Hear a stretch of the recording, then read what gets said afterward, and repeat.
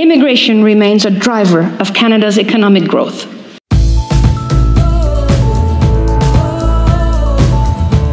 What's up, what's up, what's up, what's up, beautiful people?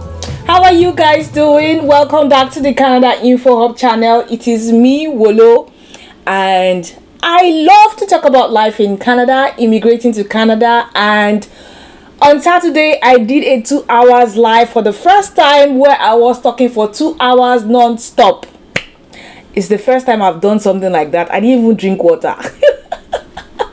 anyway, how are you guys doing? So today is just a short video. I just said I have to, you know, push this video out. You know, anything uh, that has to do with news if you don't push it out immediately it becomes stale so i have to push this video out immediately so that it doesn't become stale after this week and um, if you're new to this channel i would say thank you welcome and just click on the subscribe button and the notification bell and anytime i create a video you'll be the first to know so i want to say thank you to everybody who joined me live on saturday I really appreciate you guys. Like you surprised me. I mean, the chats were just rolling and I was finding it um, really difficult reading them until somebody actually dropped a message and told me what to do. So thank you to the person who told me what to do. And maybe in my next live chat, I'll be able to control the questions and respond to your questions without missing out any questions accordingly. I hope so. And I hope to stick to one hour, not two hours. I don't like talking too much. Okay, so one more question. Have you destroyed the like button. Don't destroy the like don't scatter your phone but just give me thumbs up you know. You know how we do it now. Just give me some thumbs up. I need the thumbs up. Give me the thumbs up. Anyway um today's video is about some updates. You must have seen the clip at the beginning of this video. That's part of it. I'll be playing the remaining part of the clip and it's actually the governor general speech on immigration.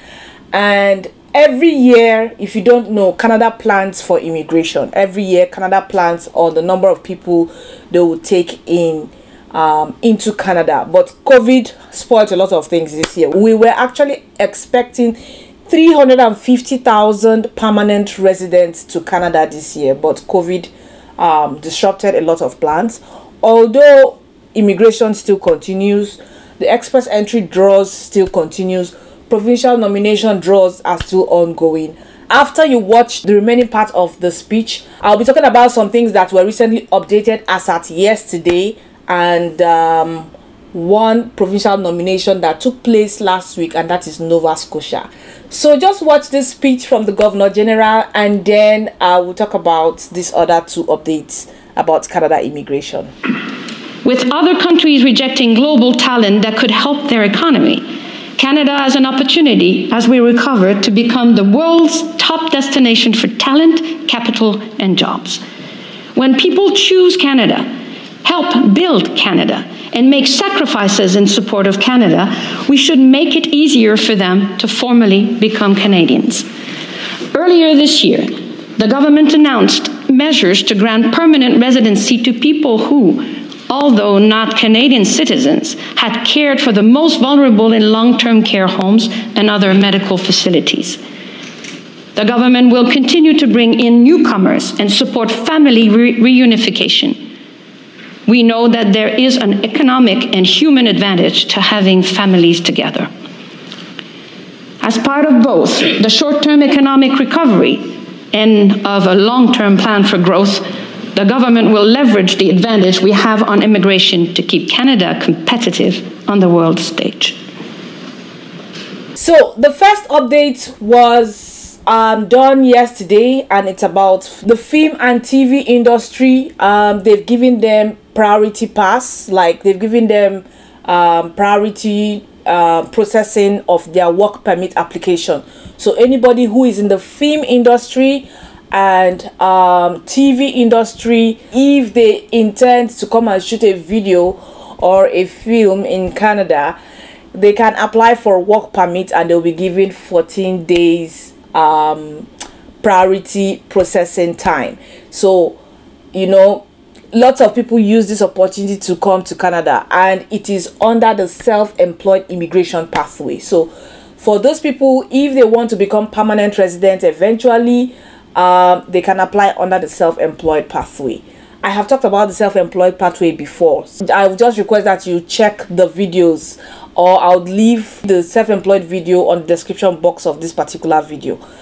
So that's number one update. The second update actually took place last week and it's a provincial nomination from Nova Scotia where they invited mechanics, auto body mechanics and the truck mechanics and all that I think the NOC code is 7321 and 7322. Those are the two NOC codes that were invited.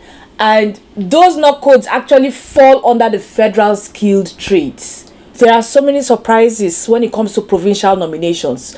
And I have done several videos about provincial nominations. So before you send me an email, check them out. Anyway, if you know any mechanic if you know any truck mechanic or auto body mechanic anything that has to do with vehicles and the person has an educational qualification the person has evaluated their credentials the person has written the IELTS exam just tell the person to get into the pool.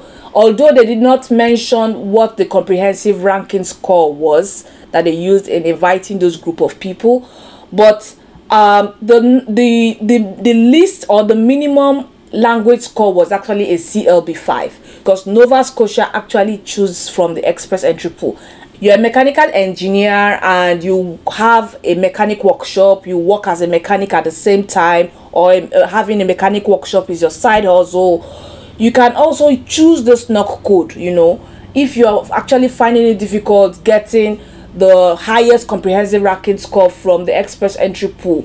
But as long as you have the work experience of a mechanic, you know you can choose these two NOC codes and you might likely i'm using the word likely because it was just it's just a new development that they were able to choose uh, this NOC code in Nova Scotia. I am not sure if it's going to be something that will be continuous. You know, Nova Scotia just brought this surprise and chose this NOC code during this period. So it's something you can make an attempt on, and you know, while you're waiting to get a provincial nomination, and you know you have the work experience as a mechanic i'm using the word again if you know you have the work experience as a mechanic you have enough proof extensive proof to show that you have worked as a mechanic for at least two years then you can choose this to NOC code and maybe nova scotia might do it you know check the express entry pool again and give people provincial nomination. So that's the update from nova scotia and um in my next video